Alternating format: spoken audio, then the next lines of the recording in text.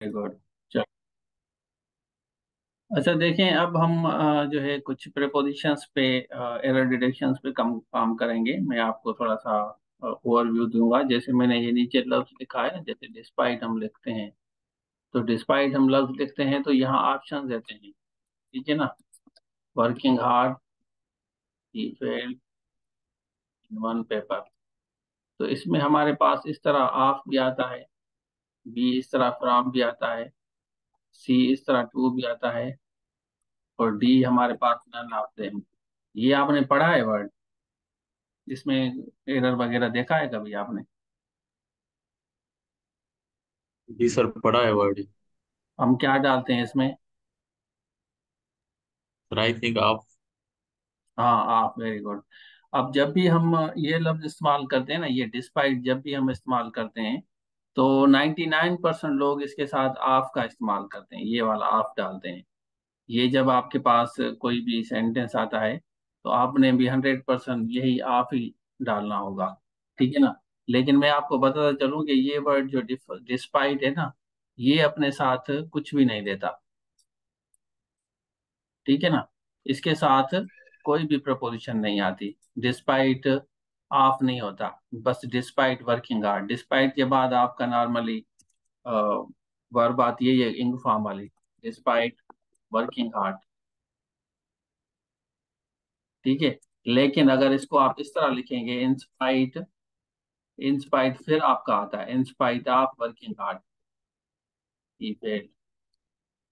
in one paper अब ऊपर वाला जो है, ये नॉर्मली आपने पेपर में देखा होगा, ये डिस्पाइट लफ्ज आता है। और 99% परसेंट लोग ये ऑफ़ डालते हैं, फिर वो खुश हो जाते हैं कि ये ऑफ़ आएगा, लेकिन इसमें ऑफ़ नहीं आता। डिस्पाइट के साथ कोई प्रपोजिशन नहीं आता। डिस्पाइट के बाद आप डायरेक्टली जो है इंग फॉर्म लगाते हैं, अगर यहाँ पे आपका वर्ब होगा। ठीक है ना? अगर आपका वर्ब होगा तो आप आँखें बंद करके इंग फॉर्म लगाएँगे। डिस्पाइट हेल्पिंग हिम लेकिन अगर इंस्पाइट ऑफ़ लगाएँगे तो इसके साथ आपके हंड्रेड परसेंट ऑफ़ आएगा। इंस्पाइट ऑफ़ वर्किंग इसके साथ आता है। क्लियर है? समझ आ रहा है सबको? थोड़ा सा देख लें आप तो आपको इंशाल्लाह मज़ा आएगा। ठीक हो गया? उसके बाद मैंने यहाँ पे एक दो सेंटेंसेस और लिखे हैं, जैसे अलांग है I walk along the road. अब जब अलांग की बात आती है ना तो ये फुटपाथ को शो करता है। I walk along the road. अब रोड पे आप नहीं घूमते, आप रोड के साथ कार्नर पे घूमते हैं तो यहाँ इसके साथ अलांग लफ्ज इस्तेमाल होता है। कार्नर के साथ आप घूमते हैं। रोड के कार्नर, रोड पे नहीं होते आप। रोड पे तो गाड़ियाँ होती हैं। ठीक है ना? Vehicles are plying on the road, ये तो ठीक है। वहीकल्स रोड पे घूम रही हैं, ये तो ठीक है मतलब चल रही हैं। ठीक है ना? वो तो वाक नहीं होता ना, running or moving, vehicles are moving. लेकिन अगर आप घूमते हैं, रोड पे घूमते हैं तो रोड रोड नहीं होता, वो फुटपाथ होता है। आपने देखा होगा पूरी दुनिया का कानून है, रोड के साथ फुटपाथ बनाना ज़रूरी है। हमारे यहाँ तो रेडियाँ खड़ी होती हैं, लेकिन फुटपाथ आपको रोड के साथ मिलेगा, जहाँ से गुजर सफ़र होता है, उसके साथ अलांग का लफ्ज होगा। इसी तरह कोई रिवर वगैरह है, रिवर वगैरह अगर आप इस्तेमाल करेंगे ही वॉक्स या he walking along the river. अब यहाँ पे अलांग द रिवर जो है ये रिवर पे नहीं घूम रहा। ये किसको शो कर रहा है? अलांग ये शो कर रहा है कार्नर को बैंक को कार्नर जैसे बीच वगैरह होती है। ठीक हो गया? तो ये यहाँ पे आपका आएगा along the road along the sea along the beach तो अलांग सेंस देगा के साथ मतलब के बराबर आपका। लेकिन अगर अलांग विद आप इस्तेमाल करेंगे तो के साथ, उसके साथ अलांग विद माय फैमिली, मैं अपनी फैमिली के साथ गया, उनके साथ अलांग विद क्लियर है? लेकिन इसमें आपका एरर जो आता है ना, I along with my family members, इसके साथ ज़्यादातर लोग जो है ना, ये आर डालेंगे। जब भी आपका अलांग विद अगर बीच में आ जाए ना, ये अलांग विद आ जाए, किसी सेंटेंस में तो हम first part of the subject को फॉलो करते हैं। तो फ़र्स्ट पार्ट आए है तो यहाँ पे आपका एम आएगा। आई थिंक आपको समझ आ रहा है। इसी तरह मैंने डिस्पाइट आपको बताया था डिस्पाइट के साथ इसमें से कोई भी प्रपोजिशन नहीं आएगी। मतलब नन ऑफ़ देम होगा। इन स्पाइट के साथ यहाँ पे आप आएगा। ठीक हो गया? चलें। अच्छा he fail despite working hard आप इसके ये इस तरह भी बीच में भी लगा सकते हैं, आप शुरू में भी इसको लगा सकते हैं। डिस्पाइट माना के बावजूद भी। डिस्पाइट के बावजूद he fail despite working hard despite working hard he fail ठीक है? डिस्पाइट ऑफ़ आएगा। Despite of working hard he fail ये वाला यहाँ पे इसको मैं बता देता हूँ। क्लियर है? इसी तरह नीचे ऑप्शन आएगा नन ऑफ़ देम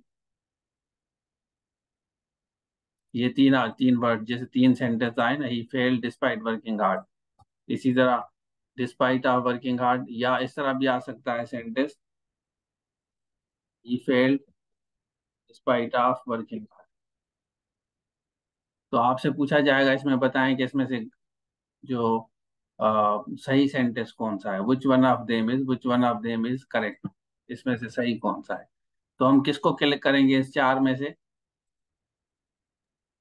फ़र्स्ट को फ़र्स्ट वाले को करेंगे, क्योंकि फ़र्स्ट वाले में ऑफ़ नहीं आ रहा, ठीक है ना? इस, इसमें भी ऑफ़ है, इसमें भी आपका ऑफ़ लगाया है, नन ऑफ़ देम तो होगा ही नहीं, क्योंकि ऊपर वाला he fail despite working hard मेहनत करने के बावजूद भी तो इट मीन्स कि ये वाला इसका हंड्रेड परसेंट सही है। तो ये प्रपोजिशनल इस्तेमाल। अच्छा अब which one of them is correct इसमें से सही कौन सा है? जैसे मैंने ये लिखा है, क्यों लिखा है, ये मैं आपको बताऊँगा, थोड़ा सा समझाऊँगा। देखें if he works hard he will never fail अब यहाँ पे देखें, ये सेंटेंस आपका वैसे तो सही है। ये लग रहा है सही है। If he works hard he will never fail if he work hard he will never fail अब आप वैसे देखा जाए तो ये तीनों सेंटेंसेस आपको हंड्रेड परसेंट सही नज़र आएँगे कि यार सेंटेंसेस तो सारे एक जैसे हैं और सही लग रहे हैं आपको, सबको सही लगेंगे। लेकिन इसमें से एक सेंटेंस जो है ना सही है, बाकी सेंटेंस गलत है आपके। जैसे हमने लिखा ना इफ़ ही वर्क हार्ड ये वाला सेंटेंस इफ़ जब भी आप डालेंगे ना तो यहाँ पे कामा आएगी। यहाँ पे। क्या आएगी? कामा कामा क्यों आएगी, वो मैं बताता हूँ। क्योंकि ये इफ़ जो है ना, ये एक ऐसा रूल है, ये हमारे अपने साथ हमेशा जो है ना, जहाँ भी ये खत्म होगा ना, क्योंकि एफ़ आधा सेंटेंस होता है। इफ़ जो है ना इफ़ आधा सेंटेंस में, यहाँ आपको समझाता हूँ, यहाँ पे।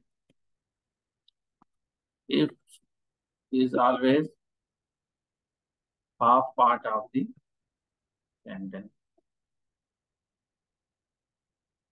and it it is comma.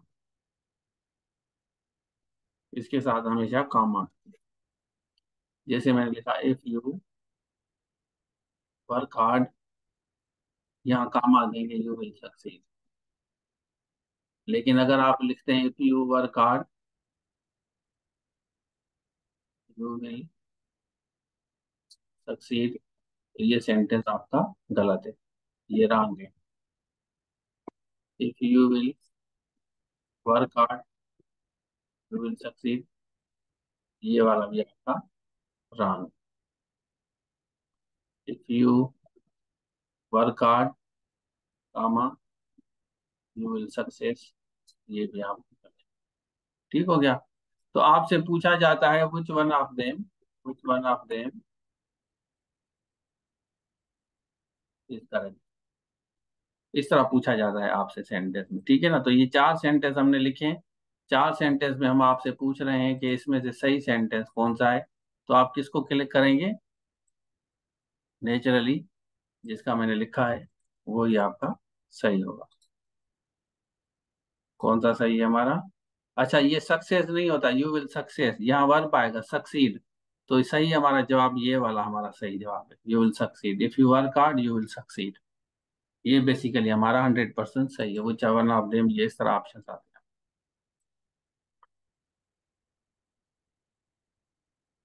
चलें।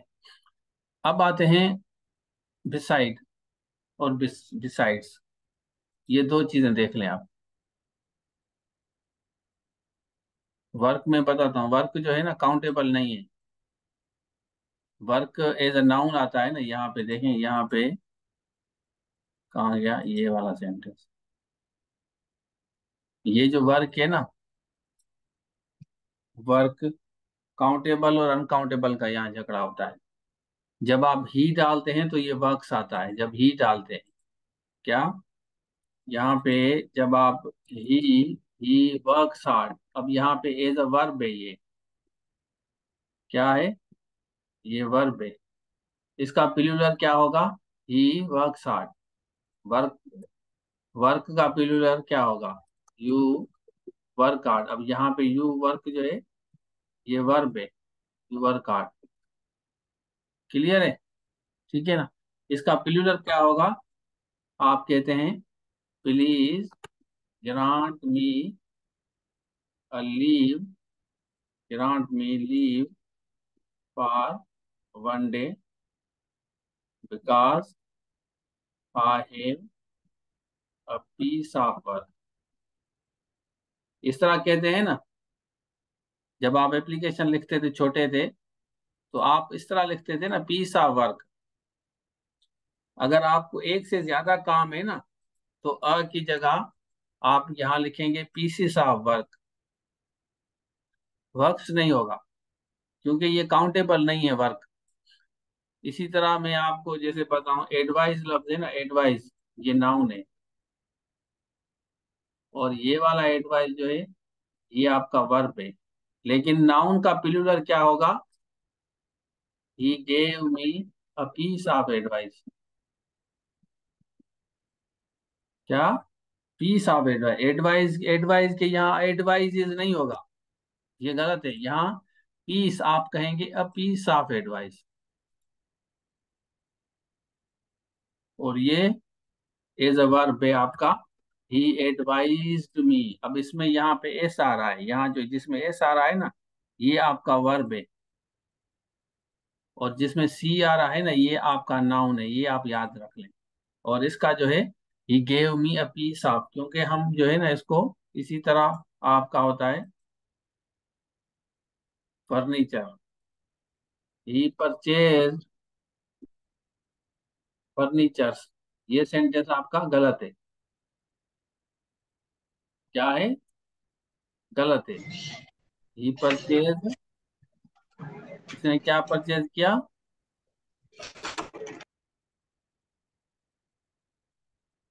फर्नीचर तो फर्नीचर का क्या होता है? हम कहते he, purchase items of furniture items items of furniture अब ये आपका करेक्ट एटम्स ठीक है ना? लेकिन आप यहाँ फर्नीचर्स नहीं कहेंगे। काफ़ी लोग इसको फर्नीचर्स कहते हैं। फर्नीचर्स नहीं होता। फर्नीचर में भी एटम्स होते हैं। जैसे आपकी देखें कौन कौन सा आइटम है? शाबाश, बताएँ एटम कौन कौन से हैं? नहीं है पता।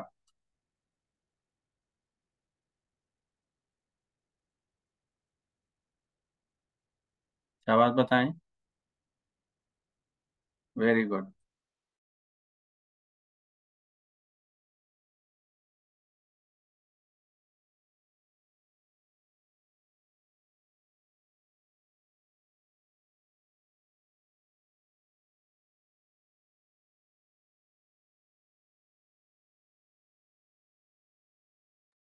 ठीक है very good chair sofa very good bed अलमारी टेबल बिल्कुल औरंगज़ेब बता रहे हैं, मुस्तफ़ा बता रहे हैं, जमीर ने बताया है, तीन स्टूडेंट्स ने बताया है। एक्सीलेंट तो अब आपको पता चल गया कि इसका जो पिलुलर फॉर्मेट है, वो कौन सा है? पिलुलर फॉर्मेट आप लोगों को पता चल गया कि अगर इस तरह का आपके पास वर्ड आता है तो इसको किस तरह आइडेंटिफाई करना है? ठीक हो गया, जैसे वर्क आपने कहा, इसका वर्क हमने लिखा। फिर हम आते हैं डिस्पाइट और बिसाइड और बिसाइड्स, दो वर्ड। हैं आपने सुने होंगे ना, दो वर्ड में यहाँ पे लिखता हूँ। एक है आपका बिसाइड दूसरा है बिसाइड्स, ये दो वर्ड हैं, आपने नॉर्मली सुने होंगे। अब इसमें थोड़ा सा फ़र्क है, बिसाइड और बिसाइड्स में स्लाइट डिफरेंस है। I have an iPhone besides Android? इसका मकसद क्या है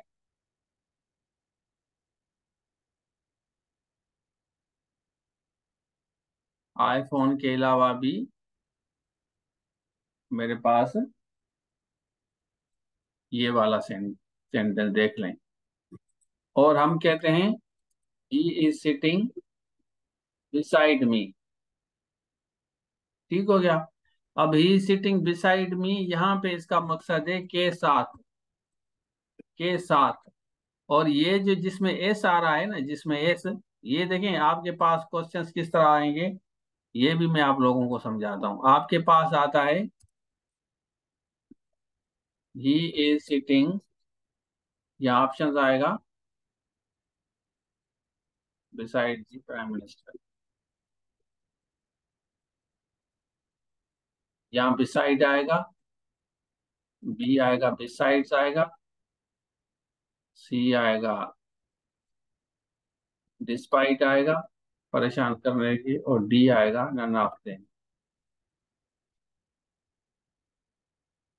अब आप ज़ाहिर है थोड़ा सा कंफ्यूज होंगे। बिसाइड भी आ रहा है बिसाइड्स भी आ रहा है। देखें, आपको थोड़ा सा परेशान करेंगे ये चीज़ें। अब हमें समझना होगा, देखिए अगर आप एक दफ़ा समझ जाएँगे ना, ये वाला, ये बिसाइड और ये बिसाइड तो नेचुरली आपको पता चलेगा कि इसका जवाब बिसाइड सही है, ये वाला। ठीक हो गया? तो हाँ ये वाला सही है। के साथ he sitting with the prime minister beside मतलब बिसाइड का मकसद है प्राइम मिनिस्टर के बराबर।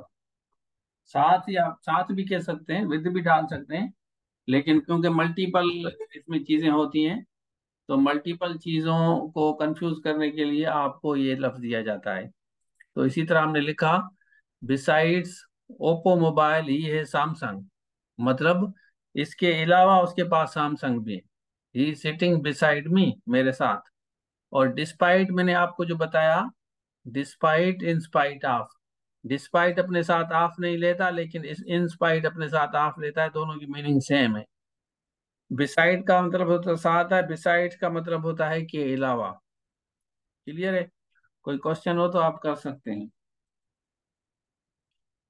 अच्छा अब हम आते हैं यहाँ पे which one of the following is incorrect he was walking by the sea he was walking along the river he is walking along the road I park my car in front of the academy he has his home by the sea I went to college on the bus. I went to college in bus. ठीक हो गया। तो इनमें से incorrect कौन से हैं? आठ में से कौन सा गलत है? शाबाश बताएँ। ये आठ सेंटेंस लिखे ना, इसमें गलत कौन सा है?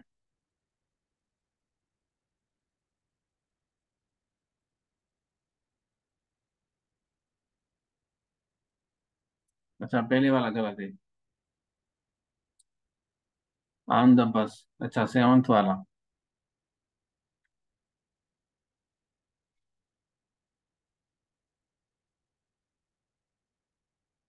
अच्छा सेवंथ वाला गलत है।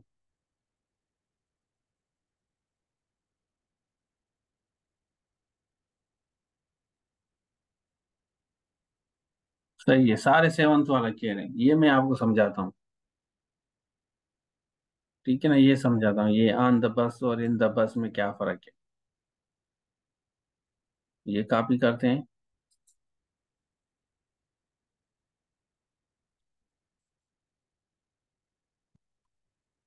बल्कि इसको मैं कॉपी करता हूँ, क्योंकि आप लोगों को ये नहीं आ रहा। इसको मैं काट देता हूँ सबको।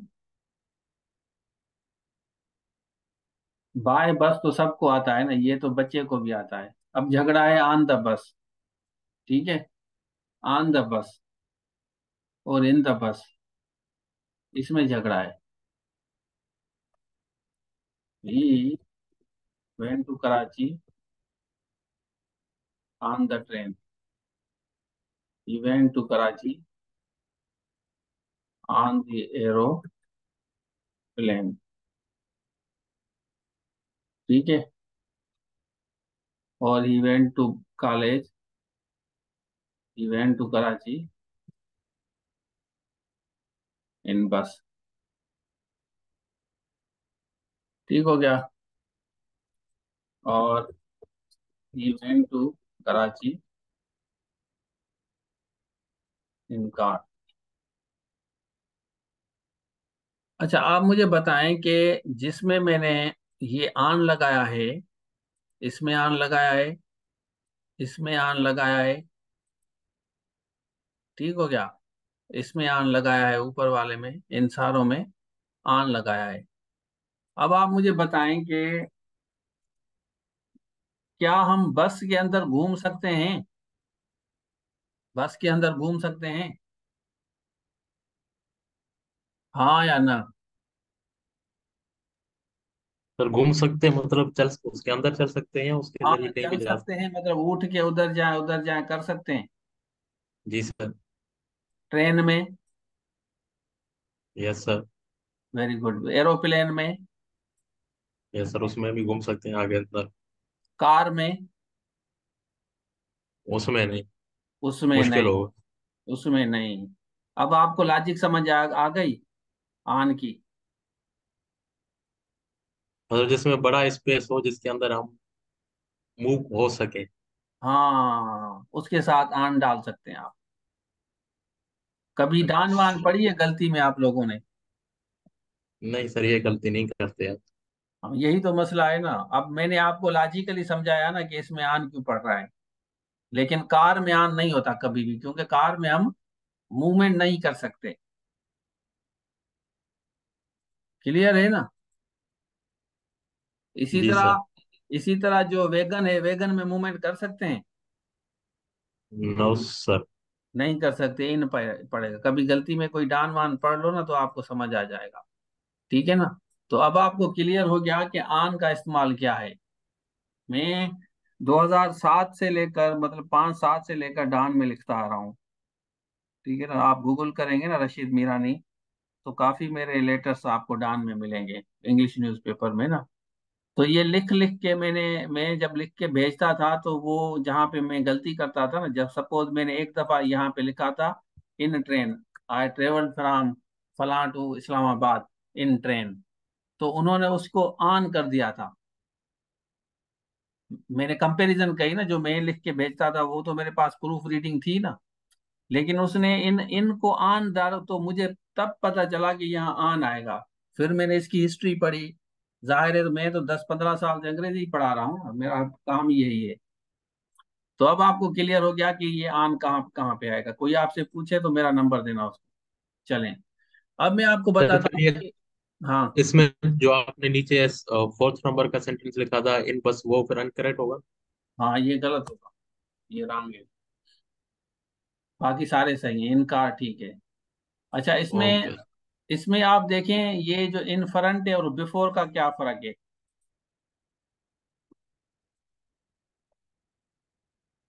जैसे यहाँ पे हमने लिखा ना I park my car in front of the academy in front of the academy अगर मैं कहूँ I park my car before the academy he is sitting before the जज he is sitting in front of the इस दोनों में क्या फ़र्क है? ये दो सेंटेंस है ना इस, इसमें क्या कौन सा इसमें सही है?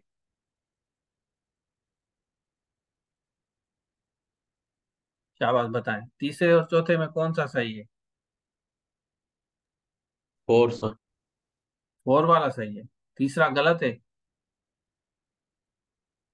औरंगज़ेब साहब कह रहे हैं कि चौथा सही है, सरमद कह रहे हैं चौथा सही है। आप कमेंट में भी बता सकते हैं, मैं पढ़ रहा हूँ सबके ना। मुस्तफ़ा ने जैसे लिखा है ना, मुस्तफ़ा ने देखें, पहले क्वेश्चन में सब बताया है कि यस यस यस तीन का बताया सही है, चौथे का बताया है नो अभी मुस्तफ़ा ने बताया है कि चौथे वाला सेंटेंस आपका गलत है। He sitting in front of the जज अब मैं आपको बताता हूँ कि इन फ्रंट ऑफ़ और बिफोर में क्या फ़र्क है?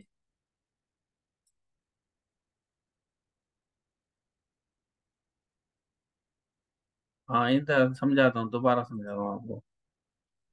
बार बार समझाऊँगा सारा दिन। आपकी तो वो वीडियो खुली हुई है ना? किसकी खुली है वीडियो? अब्दुल गनी साहब आए हैं अभी। बंद हो गए चलें। चलें। तो यहाँ पे देखें बिफोर और इन फ्रंट का थोड़ा सा फ़र्क है। आप जब भी स्पोकन में इस्तेमाल करते हैं ना स्पोकन स्पोकन समझते हैं? नहीं समझते? वर्बली जो बोल रहे हैं। हाँ वर्बली जब आप सपोज़ के स्पीच करते हैं ना तो स्पीच करते हैं कि honourable sir I am very glad to present my speech in front of इस तरह कहते हैं ना in front of all of the respected members of the house इस तरह लिखते हैं ना इन फ्रंट ऑफ़ जब आपका स्पोकन में हो ना तो ये बड़े गोश्त में चल जाएगा स्पोकन में इन फ्रंट ऑफ़ स्पोकन समझे? जैसे you are not suppose to tell a lie ये स्पोकन है। अगर आपका रिटर्न में होगा तो आप कहेंगे you should not tell a lie ये रिटर्न है। सेंटेंस दोनों सही है। ये इन फ्रंट ऑफ़ सेंटेंस गलत नहीं है। ये मैं नहीं कह रहा कि ये इन फ्रंट ऑफ़ गलत है। लेकिन जब आप स्पीक करते हैं ना किसी के साथ, बोलते हैं स्पीकिंग में आप इसको यूज़ कर सकते हैं।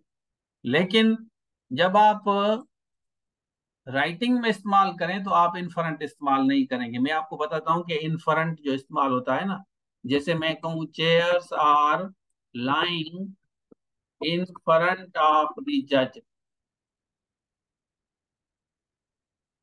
chairs are lying in front अब यहाँ पे इन फ्रंट जो है ना ये बेजान के लिए इस्तेमाल किया जाता है।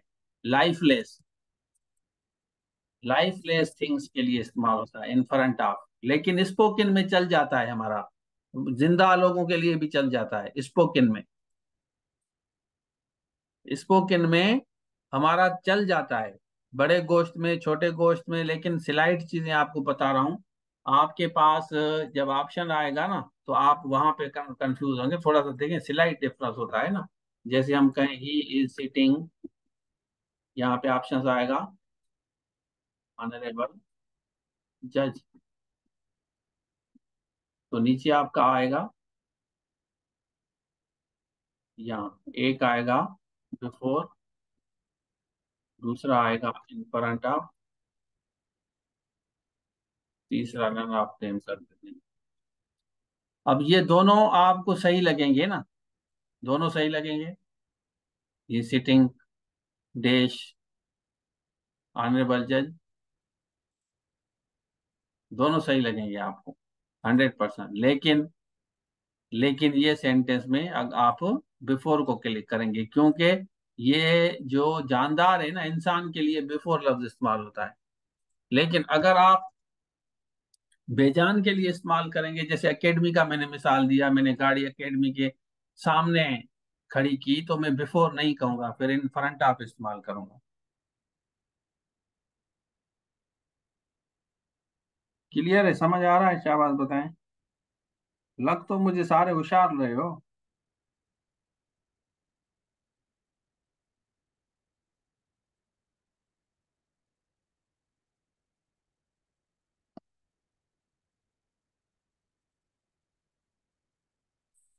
क्लियर है ना? कोई क्वेश्चन है तो आप करें।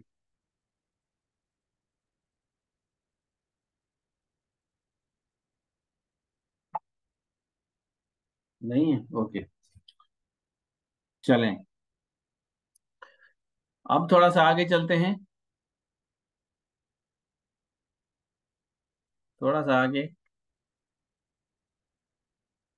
नॉन लिविंग ये मैंने लिखा है इन फ्रंट ऑफ़ भी मैंने लिखा है नॉन लिविंग के लिए अकेडमी बिफोर की जगह आई पार्क माई कार ये non living in front of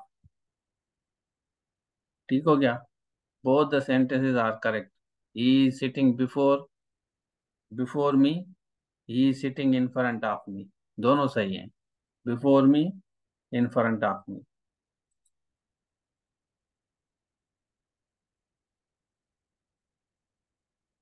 कोई इशू नहीं है भाई, कोई प्रॉब्लम नहीं है। लेट या बिफोर, पहले ज्वाइन करते हैं या देर। लायर अपियर्ड बिफोर द जज यहाँ पे वकील बिफोर होगा। PSC candidate must appear before DO आपने देखा होगा ना तो ये डीओ के पास पेश होना तो उसके में आपको देखा होगा कि बिफोर लिखा होता है। इन फ्रंट ऑफ़ लिखा होता है या बिफोर लिखा होता है? कभी आपने ये लेटर वेटर प्रेस रिलीज़ ज़रूर पढ़ी होगी ना। बिल्कुल आपने पढ़ी होगी कि पीएचडी कैंडिडेट्स को ये they must appear before DO साहब। तो यहाँ बिफोर लफ्ज इस्तेमाल होता है इन फ्रंट नहीं होता। चलें, अब आते हैं। वेन शी इंटर्ड अब यहाँ इंटर के साथ कौन सा प्रपोजिशन आएगा शाबाश इसमें से? इन टू आएगा इन आएगा या टू आएगा? When she enter the office she was offered a cup of tea जैसे ही वो दाखिल हुई उसमें उसको ऑफ़र की गई टी इनटू ज़्यादातर बच्चे इनटू डालेंगे इसमें। ठीक है ना? तो ये ए, एक ऐसा वर्ड है ये जो इंटर है ना ये एक ऐसा वर्ड है ये कभी ज़िंदगी में अपने साथ कुछ नहीं लेता। नन ऑफ़ देम आएगा। कभी भी किसी भी ज़िंदगी में आपने इंटर के साथ इन नहीं देखा होगा ना इनटू देखा होगा ना टू देखा होगा। When I enter the class when I enter the room ठीक हो गया?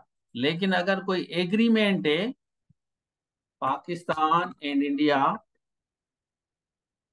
अगर आप कहते हैं इंटर फिर आप कहते हैं इंटर इनटू एन एग्रीमेंट फिर आपका चलेगा बड़ी गोश्त में। लेकिन आप किसी कमरे में दाखिल होते हैं क्लास में दाखिल होते हैं तो उसके साथ आपका कोई प्रपोजिशन नहीं आएगी इसी तरह रीच वेन शी रीच अब रीच के साथ रीच के साथ हम एट डालेंगे ना। ज़्यादातर reach at the academy reach at the office क्या डालते हैं ज़्यादातर?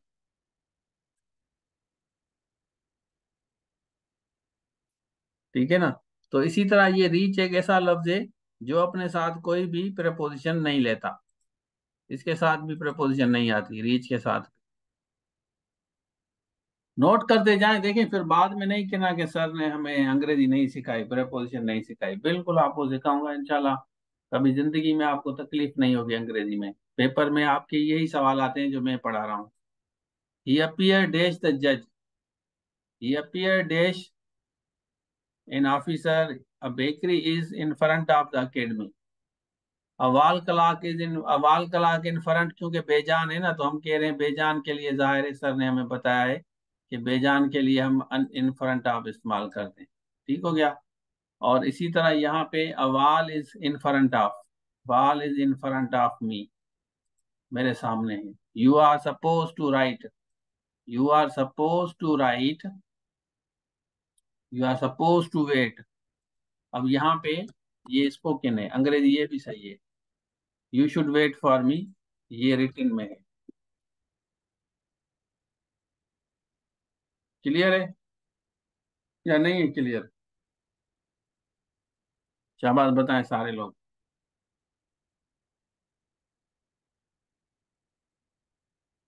यहाँ तक कोई सवाल है तो आप कर सकते हैं।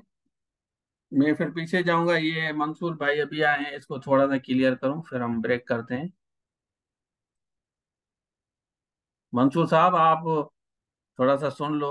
जो भी जो भी ऐसी चीज़ जिसमें मूवमेंट वगैरह कर सके ना, जैसे बस है ट्रेन है एरोप्लेन है तो इनके साथ हम आन का इस्तेमाल करेंगे। ठीक है ना? कोई भी ऐसी चीज़ जिसमें हम मूवमेंट कर सकें, घूम सकें, फिर सकें तो आन लगाएँगे। लेकिन हम जो है, ये मैं यहाँ से काट देता हूँ। लेकिन अगर कार है तो कार के साथ आप इन लगाएँगे। कार इन द कार ठीक हो गया? तो क्योंकि कार में हम घूम नहीं सकते। बस में घूम सकते हैं, एरोप्लेन में घूम सकते हैं, ट्रेन में घूम सकते हैं, ऐसी कोई भी चीज़ जिसमें आप मूवमेंट कर सकते हैं तो उसके साथ हम इस्तेमाल करते हैं। ठीक हो गया? तो यहाँ तक मेरे ख्याल में आप लोगों का कॉन्सेप्ट क्लियर है।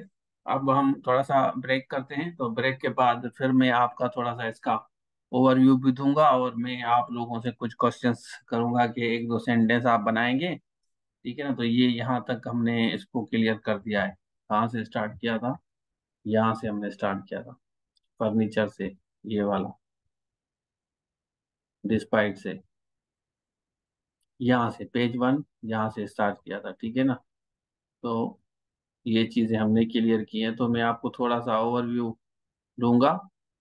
तो जैसे मुझे पता चले कि आप लोग यहाँ पे बैठे हैं, और आप लोग समझते भी हैं, सिर्फ़ इस तरह नहीं है कि हवाली प्रोग्राम है। हवाल प्रोग्राम नहीं है। चलें। तो बस अभी ब्रेक करते हैं तो ब्रेक के बाद में लिंक भेजता हूँ आप लोगों को। ठीक है ना? अब्दुल गनी, औरंगज़ेब, मंसूर, मुस्तफ़ा सरमद जमीर भाई। Thank you so much we get back right now